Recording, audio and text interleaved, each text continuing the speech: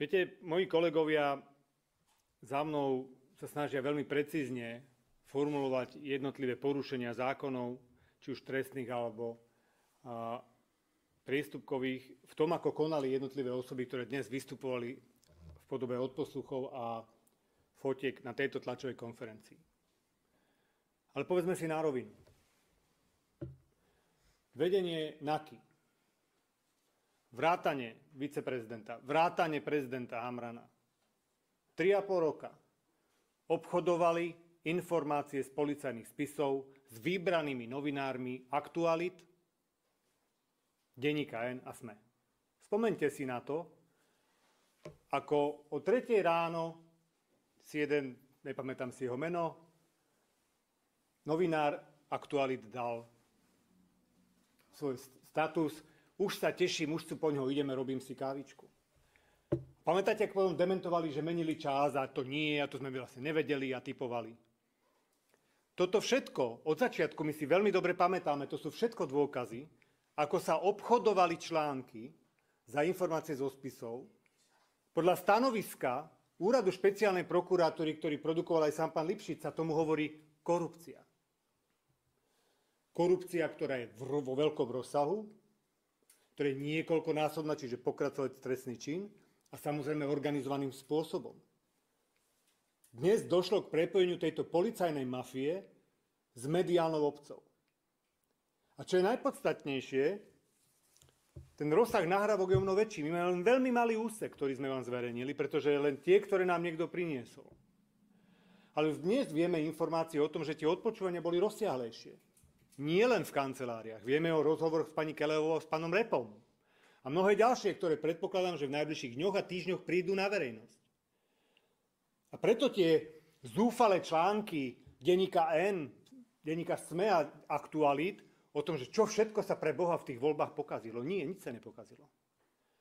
V tých voľbách občania povedali pravdu, že chcú naspäť právny štát. Nie porušovanie ľudských práv, ktoré tu bolo 3,5 roka, vo všetkých jej podobách, ktoré všetky vlády pod dozorom pani prezidentky predvádzali. Toto sú dôkazy o tom, čo sa tu dialo a oni budú stále pribúdať. A my ich radi budeme zverejňovať, aby to ľudia naozaj vedeli, že vo voľbách mali pravdu, keď odmietli tento progresívny teror, ktorý tu bol nastúpený. Počuli sme aj výroky pani prezidentky a ja nie som dotkliv ani urážlivý. Pani prezidentka stále nepochopila, že je v politike. Je tam 4 roky, teda pomerne krátko, ale je súčasťou politického života. Ak sa jej nepáči, že existujú aj iné názory, tak proste mala sa stať prezidentom v 75.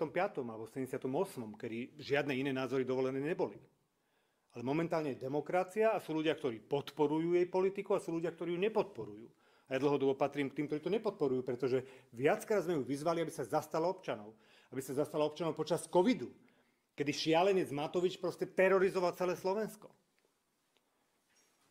Žiadali sme, aby sa zastala občanov, keď požadovali zmenu vlády v podobe 600 tisíc podpisov na referenda. Mala tisíc príležitostí, aby išla a zastala sa ľudí. Ale ona sa rozhodla, že sa bude zastávať len vybranej skupiny ľudí. Obvinených policajtov, ktorí zneužívali právomoc. A nikdy nereagovala na to, dokonca odvolala, alebo dala pokyn na odvolanie Ivana Šimka, ktorému to začalo vadiť, lebo on bol skúsený minister vnútra. On vie, čo to znamená zneužívanie právomoci verejného činiteľa. A teraz ona ešte verejne povie, že to by bol problém, pretože som obvinený, ani toľko si nezistí, že v mojom prípade najvyšší súd, pani prezidentka, najvyšší súd dvakrát vyslovil, že som bol nezákonne väzobne stíhaný, že som bol nezákonne stíhaný ako taký že tie veci boli na vode a boli vymyslené.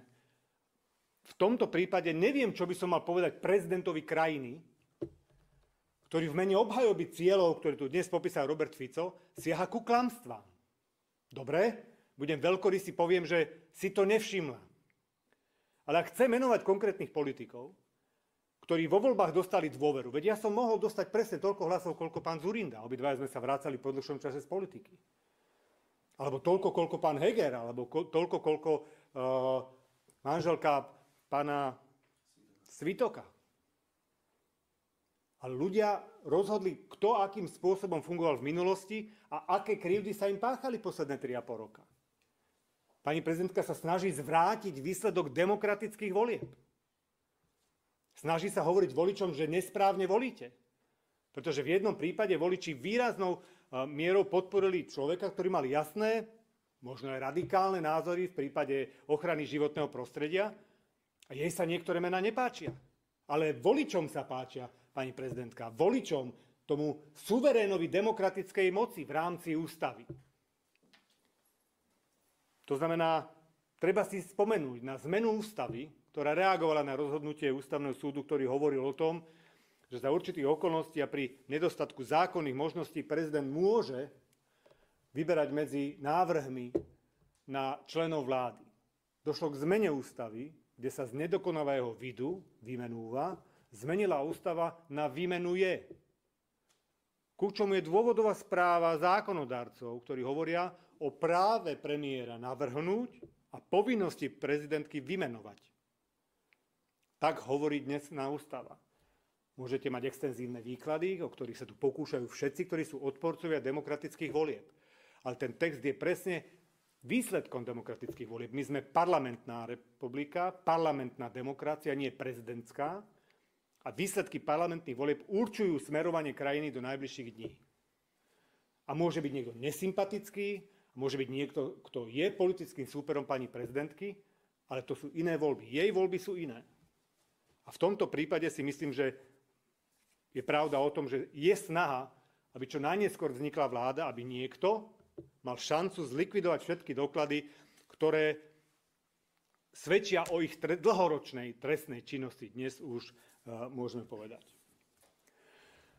Pánovi prezidentovi Kiskovi sa vyjadrím len veľmi okrajovo, pretože on je, by som povedal, recidívnym páchateľom daňových podvodov, pretože vieme, že v 13 alebo 14 prípadoch sa pán Kiska priznal, využil účinnú lútosť, ktorú iným páchateľom tejto trestnej činnosti umožnené nebolo v minulosti.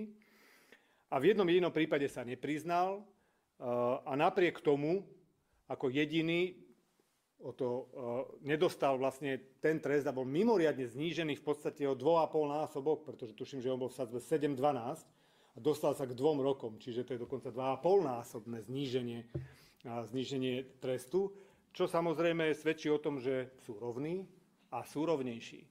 A pán Kiska v tomto súboji dostal rovnejšie. Urobte ľubovoľné porovnanie všetkých daňových deliktov v prípade DPH, všetkých rozhodnutí za posledných 5 rokov, alebo odkedy platí táto úprava, to je tuším rok 2013, či to máte 10 rokov. Všetky rozsudky za 10 rokov a pozrite sa, či niekto niekedy takýto rozsudok dostal. Áno, opätovne vlastne je niekto, kto je nad zákonom, a to je pán Kiska. A nie, že olutuje svoj trestný čin, on z toho obviní, že my sme zodpovední. Čiže z tej matematiky, keď počítam, v podstate mi tak vychádza, že jediný, kto kedy sedel za Kiskou daňový podvodcom, bol ja. A ty si bol vtedy, no dobre, áno, samozrejme, ale v inom prípade. Áno, pravda, my dvaja. Ja by som to nerozširoval, ale nechcem to zľahčovať. Vedenie tohto štátu, aj pán Odor, tolerovali vybavovanie si účtov tejto policajnej mafie aj s tými najvyššími predstaviteľmi bezpečnostných zložiek. A to je možno záver, ktorý chcem povedať, že to je najvážnejšie. Bez problémov, pani prezidentka aj pán Odor, obetovali dôveryhodnosť Slovenskej informačnej služby, vojenského spravodajstva, Národného bezpečnostného úradu a generálnej prokuratúry, len v mene, aby boli zachránení táto úzka skupina. Zoberte si, aké masívne porušovanie zákonov to muselo byť, keď toto všetko obetovali, pretože v zahraničí to spôsobilo absolútne škody. Po voľbách sme mali samozrejme prvé neformálne rozhovory so zahraničnými partnermi a prví na to upozorňovali, že sú to vážne, vážne problémy, ktoré nastali práve pri bezpečnostných komunikáciách aj pri ochrane Slovenska ako takého. To sú obrovské rizika, ktoré tu nastali. A práve preto to musí byť dôsledne vyšetrené. A práve preto budeme musieť aj naďalej otvárať takéto dôkazy. Ďakujem pekne. Ďakujeme za sledovanosť, odber a like. Pracujeme na ďalších videách Vaša politická scéna.